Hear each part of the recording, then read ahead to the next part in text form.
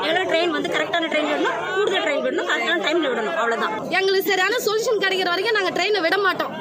ஒரு நாள் எட்டு நாள் பரவாயில்ல. அதே மாதிரி ஈவினிங் எட்டு மணி ஏழு மணிக்கு விட்டா கூட எட்டு மணிக்கெல்லாம் வீட்டுக்கு போயிட்டு ரீச் ஆயிட்டு சமைக்கலாம்னு பார்த்தா ஒன்பது மணியாவது வீட்டுக்கு போறதுக்கு. அப்ப குழந்தைங்க பட்னியா தானே இருக்காங்க? இதெல்லாம் யாருக்கு பொறுப்பு?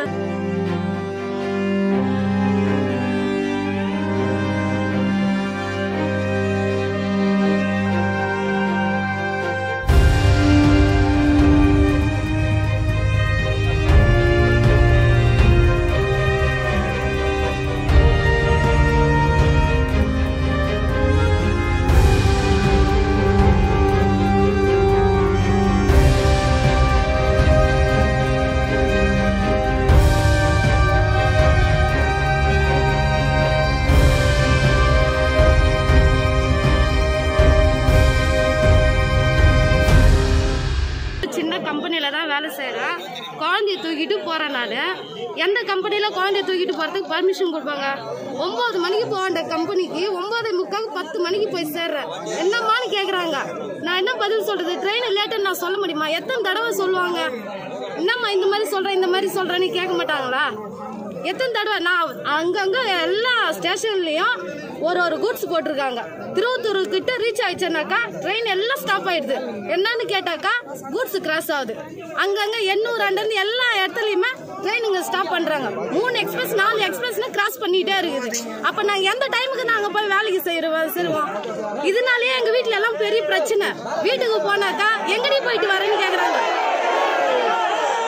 போனேன்னு சொன்னா நம்பவே மாட்டேன்றீங்க நீ ஊர் சுத்திட்டு வர. நீ வேலைக்கு போலன்னு கேக்குறாங்க. எங்க மேல சந்தேகப்படுறாங்க. வீட்டுல வேலைக்கும் அனுப்ப மாட்டேன்றாங்க. நாங்க வேலைக்கு போலனாக்கா நாங்க என்ன சம்பாத்தியம் சாப்பிடுவோம்? சொல்லுங்க குழந்தைங்களை வச்சுக்கிட்டு குழந்தைக்கு ஒரு பால் வாங்க முடியுமா? என்ன பண்ண முடியும்? நேத்து குழந்தைய வச்சுக்கிட்டு ஃபுட்பால் வச்சுட்டு வரேன். லேடிஸ் கம்பார்ட்மெண்ட்ல ஜென்ஸ் கம்பார்ட்மெண்ட்ல போனாலும் அதே தான் ஒரு அஞ்சு நிமிஷத்துக்கு ஒரு ட்ரெயின் அரக்கோணம் அம்பத்தூர் அந்த பக்கம் மட்டும் விடுறீங்கல்ல இந்த பக்கம் மட்டும் ஏன் விட மாட்டேன்றீங்க? கும்மிடி இறங்கி அங்கிருந்து நான் பத்து கிலோமீட்டர் போனோம். ஆட்டோ பிடிச்சி பஜாரில் இறங்கி அங்கேருந்து அரை கிலோமீட்டர் நான் நடக்கணும். அந்த மாதிரி இருக்கும்போது நாங்கள் என்ன பண்ண முடியும்? சூலூர்பட்டிக்கு மட்டும் ரெண்டு ஹவரை நாங்கள் உட்காந்துட்டு இருக்கிறோம்.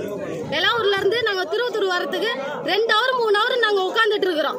அந்த மாதிரி ஏன் அந்த பக்கம் விட மாட்டேங்கிறீங்க ட்ரெயின் எல்லாம்? நார்மலாக ஏன் வர மாட்டேங்குது இந்த பக்கம் இருக்கிறவங்களாம் எல்லாம் மனுஷெல்லாம் தெரியல அவங்களுக்கெல்லாம் ஆர்பிஎஃப் எல்லாம் எல்லாரும் பார்த்து வழியில் உட்காராதமா அப்படி உள்ளே போங்கம்மான்னு மட்டும் தள்ளுறீங்கல்ல? மாடு பிடிச்சி தள்ளுற மாதிரி தள்ளுறீங்கல்ல ஒரு அஞ்சு நிமிஷம் அஞ்சு நிமிஷத்துக்கு ஒரு ட்ரெயினை விட்டா என்ன வந்துச்சு? லேடிஸ்ல மட்டும் எப்படியும் ஐநூறு பேருக்கு மிட்டா நான் இருக்கிறான். ஒரு ரெண்டே ரெண்டு லேடிஸ் தான் வருது. பன்னெண்டு கம்பார்ட்மெண்ட் வந்திருந்த ட்ரெயின் இப்போ ஒன்பது கம்பார்ட்மெண்ட் தான் வருது. பன்னெண்டு கம்பார்ட்மெண்ட் கூட வர்றது இல்ல அது ஒழுங்கா ட்ரெயினும் வர்றது இல்ல அந்த மாதிரி இருக்கும்போது நாங்க என்ன பண்ண முடியும் சொல்லுங்க. எவ்வளவு நெரிசல்? உட்கார்றது கூட சீட் இல்ல. உட்கார்ந்த சீட்ல நாலு பேர் உட்கார்ற சீட்ல ஏழு பேர் உட்கார்ந்துட்டு வரோம் அந்த மாதிரி இருக்கும்போது நாங்க என்ன சார் பண்ண முடியும்? சொல்லுங்க. அதனால தான் நாங்க ட்ரெயினை ஸ்டாப் பண்ணோம். எங்களுக்கு சரியான சொல்யூஷன் கிடைக்கிற வரைக்கும் நாங்க ட்ரெயினை விட மாட்டோம். கூட்ஸுக்கும் உங்களுக்கு எக்ஸ்பிரஸ்க்கும் தனி லைன் விட்டுருங்க. எங்க ட்ரெயினும் போட்டோம் கூட்ஸும் போட்டோம். இப்போ இவ்வளோ செலவு பண்றீங்க. சென்ட்ரல் கவர்மெண்ட் தான் நான் கேட்குறேன் சென்ட்ரல் கவர்மெண்ட் தான் இதுக்கு பொறுப்பு. இவ்வளோ பண்றீங்க. கூட்ஸுக்கு தனி ட்ரெயின் விடுங்க இல்லை எக்ஸ்பிரஸ்க்கு தனி ட்ராக் விடுங்க. எங்க ட்ரெயின் ஃப்ரீயாக போக விடுங்க டைமிங்க்கு போக விடுங்க. நான் ஆக்சுவலாக மீஞ்சூர் போக வேண்டியவ ஏன் இதில் வரேன் நூறுரூபா சீசன் எடுத்துட்டு நான் இதில் வரேன். எனக்கு இது திருப்தியாக இருக்கு.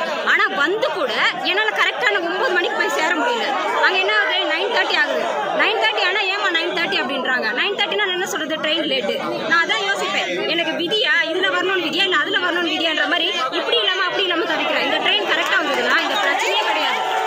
அதுதான் சொல்றது. சென்ட்ரல் கவர்மெண்ட் தான் நான் கேட்பேன். சென்ட்ரல் கவர்மெண்ட் தான் இதுக்கு பொறுப்பு. புரியுதுங்களா? எல்லாரையுமே இந்திக்காரங்க போட்டு வச்சுட்டு நாங்க எது கேட்டாலும் ஊமை மாதிரி நிக்கிறாங்க அப்படியே. ஊமை மாதிரி எஸ்எம் ஆட்டோ எல்லாரும் ஆட்டோ ஊமை மாதிரி நிக்கிறாங்க. ஊமை மாதிரி நிக்கிறாங்க. ஹிந்திக்காரங்களை போட்டு அவங்களுக்கு என்ன புரியுது?